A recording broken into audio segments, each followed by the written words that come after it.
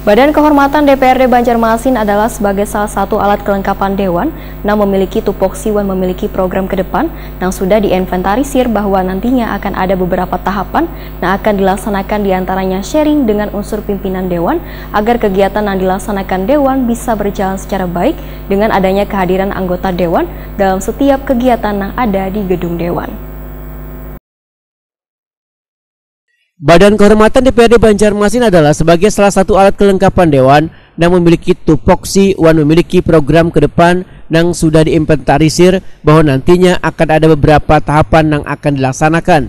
Di antaranya, sharing dengan unsur pimpinan Dewan agar kegiatan yang nantinya akan dilaksanakan Dewan bisa berjalan secara baik yang mana perlu adanya kehadiran anggota Dewan dalam setiap kegiatan yang ada di gedung Dewan ini. Tingkat kehadiran Dewan inilah yang nantinya akan disampaikan kepada unsur pimpinan DPRD Banjarmasin. Demikian diperhatikan Ketua Badan Kehormatan DPRD Banjarmasin Muhammad Isna ini, Wetokuni Prima TV usai rapat bersama anggotanya jelang tengah hari Selasa 9 Agustus 2022. Politisi Partai Gerindra ini menyatakan tingkat kehadiran anggota Dewan ini harus terus ditingkatkan agar kadang muncul ucapan ada kewajiban kada hadir tetapi ketika ada hak malah ditagih. Uh, kita akan sharing dengan pimpinan berkaitan dengan tadi ke tingkat kehadiran dalam rapat-rapat. Ya program kita uh, artinya uh, apa yang diharapkan oleh kawan-kawan itu akan kita laksanakan.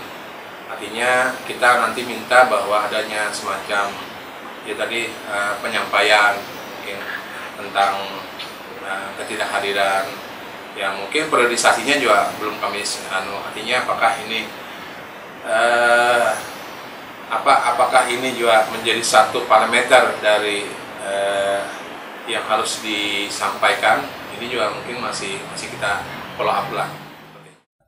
Muhammad Isnaini menambahkan ke depan Badan Kehormatan DPRD Banjarmasin akan memprogramkan untuk mendapatkan bimbingan teknis agar wawasan dari bubuhan anggota DPRD ini akan mengalami peningkatan secara sumber daya manusia.